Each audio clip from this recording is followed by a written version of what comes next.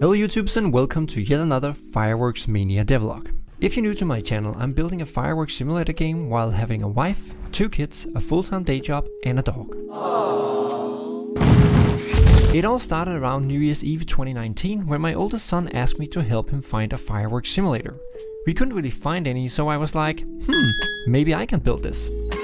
Here on my YouTube channel you will find devlogs and live streams documenting my journey all the way from day one and the early prototypes to present time which is post Steam release where I keep updating and evolving the game in close dialogue with the community around it. So if you think a fireworks simulator game like Fireworks Mania sounds fun and you like watching devlogs of how it's being made, well you come to the right place.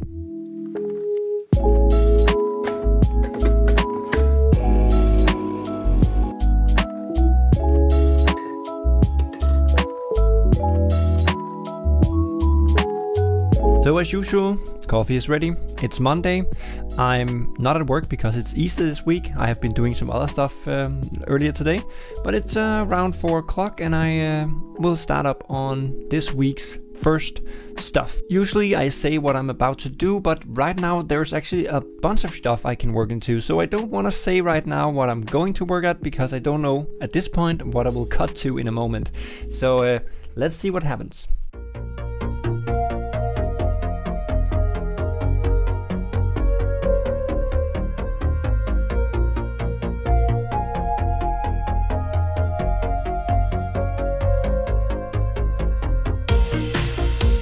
So today's Saturday and I'm pretty far behind because I'm still working on this devlog and haven't done too much on the game. The reason is, as I mentioned in the beginning, it's Easter so I've done a lot of other stuff in the garden for instance and haven't made that much progress on the game. Sorry, yet another devlog without super much progress in on the game itself. Anyway, I managed to do something at least, so let me just quickly show you that. So the first thing I fixed was something that has been annoying me for quite a while, and that is in here in the inventory, because previously when you click something here and clicked away, this highlighted here, the orange um, highlight selection indicator here, was kind of removed when I clicked on some other stuff. But that's fixed now, so you can see both the tabs here in the top and also the buttons here stays no matter what I click here and I go back and stays selected. It might not seem like a big deal, but it's actually not that easy to do, and I am I'm very happy with it now, so I can kind of uh, relax and don't be annoyed by these button losing their highlight indicator once you click something. I still think we have a problem here when I click uh, save, for instance. Yeah, you can see it highlights goes away. So I need to do the same thing for these buttons, but they work a little different. So anyway, I'll fix it. But um, at least these buttons are now fixed. So the other thing I fixed was actually a small thing, but have a pretty big impact, I think, on the experience of playing the game. So that was adding a sound to the eraser tool.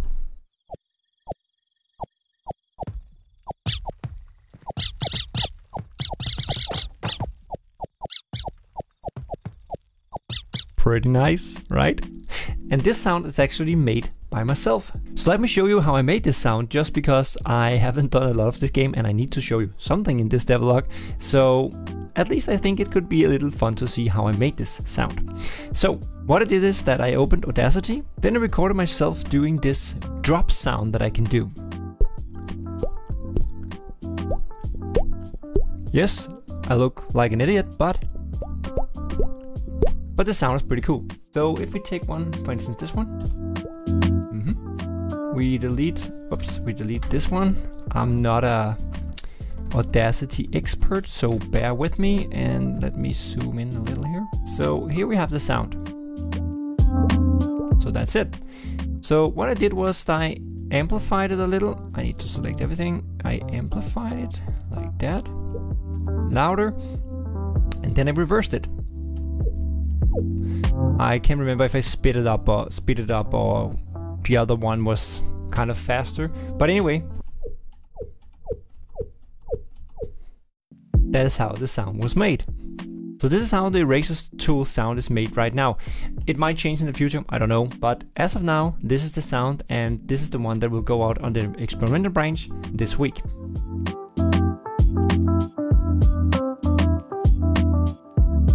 And due to the lack of content in this devlog, I also have some other thing I want to put in here because uh, I actually get a lot of questions or I sense a lot of confusion about this experimental branch. The thing is, on Steam you can switch between branches.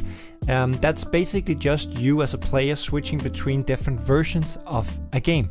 Most games only have one version and you don't have to think about it, but a lot of uh, early access games and also other games that are actually released, like Fireworks Mania, you can switch branches sometimes to, I call it experimental, but it could also be called beta or it could be called testing out stuff. I don't know, it could be called anything, that doesn't really matter.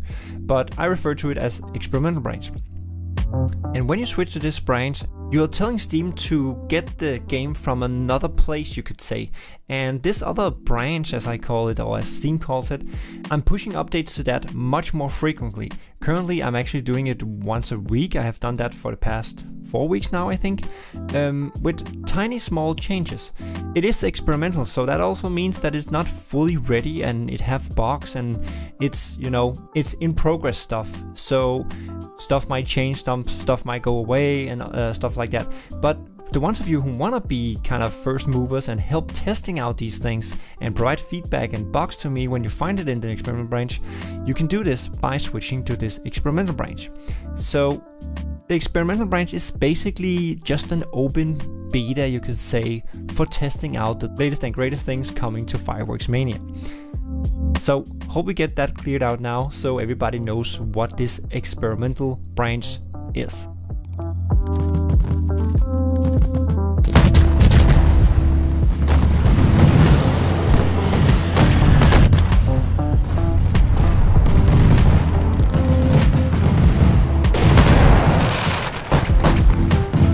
So that's it for this devlog.